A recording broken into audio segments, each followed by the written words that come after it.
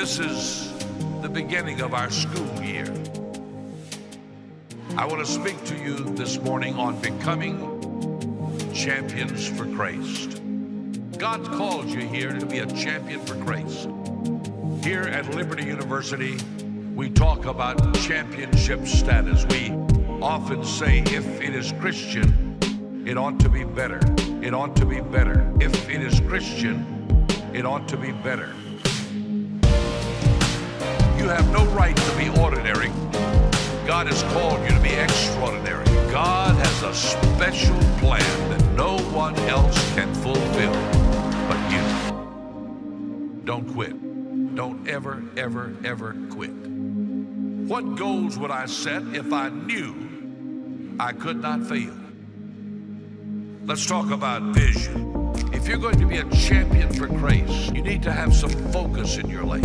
Vision is the God given energy which will make you become a risk taker. Back up a little bit. God has a special plan, has a special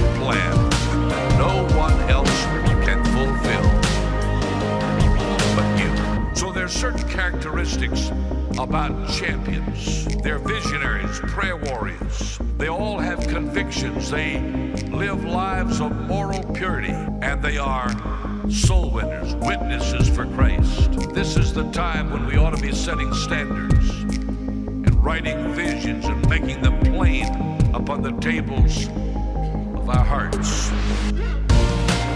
God has a special plan, has a special plan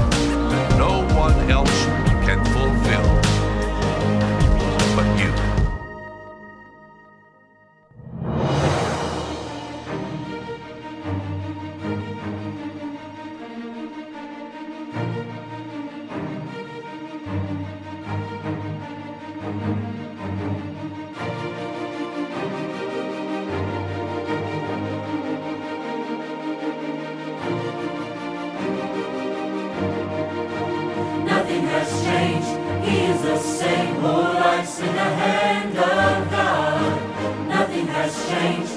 He is the same who lies in the hand of God. Nothing has changed. He is the same